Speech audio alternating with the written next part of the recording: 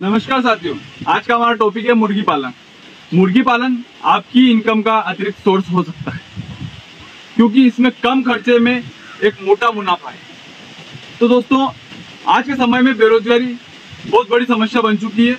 ऐसे में युवा साथी है जो साथी हैं, वो मुर्गी पालन को अपने रोज का माध्यम बना सकते हैं। मुर्गी पालन में अपनी मेहनत और लगन के ज़रिए एक अच्छा पैसा कमा सकते हैं।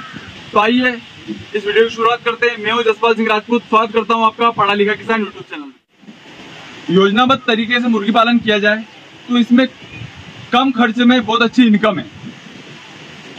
और कुछ तकनीकी चीज़ें जानने की ज़रूरत है। मुर्गियाँ तभी मरती है जब हम अपने रख रखाव में लापरवाही बरतते हैं। तो दोस्तों, हम पूरे पॉइंट टू पॉइंट बात करेंगे, इसका रख रखाव कैसे करें। कम लागत में चूजे या नस्ल की बात करें और इसका शेड कैसे तैयार करें तो पॉइंट टू पॉइंट हम इस पर बात करेंगे। पोल्ट्री फार्म के लिए सबसे पहली बात आती है शेड की। शेड के लिए आपको उचित जगह का चयन करना है जहाँ से हवा आराम से पास हो सके उसके बाद जल का ठहराव ना हो इसलिए ज़मीन से थोड़ी ऊँची जगह लें। हमने शेड तैयार किया है बिल्कुल लो कॉस्ट में जाली चद्दर और एंगल की मदद से। दूसरे पॉइंट की हम बात करें तो इनको उचित पोषण युक्त आहार देना चाहिए। और जैसे कि मक्का हुआ सोयाबीन हुई चावल के दाने हुए और गेहूँ के। इनकी आप टुकड़ी करवा लीजिए बारीक और वो डाल दीजिए।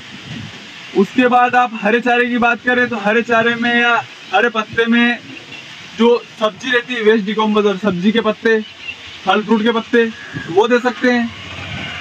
आ, उसके बाद आप वज़न बढ़ाने के लिए प्रोबायोटिक्स का नाम का पाउडर आता है जो मेडिकल पे आराम से मिल जाएगा। तो उससे तेज़ी से वज़न बढ़ता है। वो दे सकते हैं। नस्ल का चयन करना है दोस्तों तो अगर आप अ, मीट उत्पादन के लिए और जल्दी करना चाहते हैं तो बॉयलर का कर सकते हैं। उसके बाद आप देसी नस्ल का चयन कर सकते हैं। मैं खुद के पास देसी और कम लागत की बात करूँ तो मैंने मुर्गी को अंडों पे बिठाया था तो उसने बच्चे निकाल दिए तो मेरा बिल्कुल कम खर्चा हुआ दो मुर्गी का खर्चा हुआ। दो मुर्गियाँ लगभग मेरा चौदह सौ खर्चा हुआ और अंडे का हुआ मेरा छह सौ खर्चा।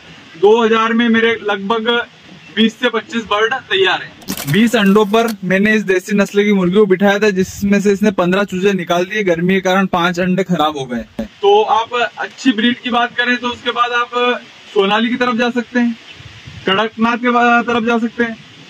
कड़कनाथ का नाम कलामासी भी बोला जाता है क्योंकि इसका का, काला मांस होता है इसलिए कलामासी कहा जाता है। इसको जे जीआई टैग मिल चुका है क्योंकि इसका मांस काला कलर का होता है बिल्कुल फेटलेस होता है, वसा नहीं होती इसमें। तो इसलिए, और ये शुगर के मरीज़ के लिए शुगर लिए बहुत फ़ायदेमंद है। अगली बात आती है दोस्तों वैक्सीनेशन की। टाइम टाइम इनका वैक्सीनेशन कराएँ, रानी खेत और बर्ड फ्लू मेरेक्स जो भी इनमें बीमारियाँ रहती है तो एक फिजिशियन की मदद से वेटनरी डॉक्टर की सलाह लें और टाइम टाइम टीकाकरण करवाएँ। इससे आपके चूजे मरेंगे नहीं। चूजों को आधे घंटे बाद आप इलेक्ट्रोलाइट पानी या फिर गुड़ का पानी या नींबू पानी दें। डायरेक्ट सादा पानी ना पिलाएँ। लाभ की अगर बात करें दोस्तों तो इसमें लाभ ये है कि आप अंडा बिक्री पे लाभ कमा सकते हैं। लगभग देसी मुर्गी का जो एक अंडा होता है, ये 20 से 25 रुपए में आराम से बिक सकता है।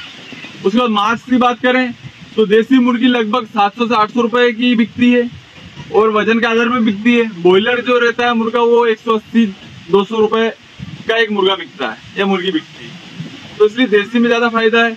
बाकी सोनाली में यही एवरेज रेट होगा। हमारे इधर देसी ज़्यादा मिलती है। कड़कनाथ भी हज़ार के लगभग एक मिल जाता है। मुर्गी खाद की बात करें तो मुर्गी खाद जो अदर जानवर का खाद रहता है, उससे ज़्यादा फ़ायदेमंद रहता है। क्योंकि इसमें फास्फोरस नाइट्रोजन और पोटेशियम ज़्यादा मात्रा में होता है। इसलिए ये खाद ज़्यादा अच्छा इसका ज़्यादा अच्छा रिज़ल्ट है पौधों के लिए। बागवानी में अच्छा यूज़ कर सकते हैं आप इसका। और मीट की बात करें तो मीट सबसे ज़्यादा महँगी कड़कनाथ मुर्गे की बिकती।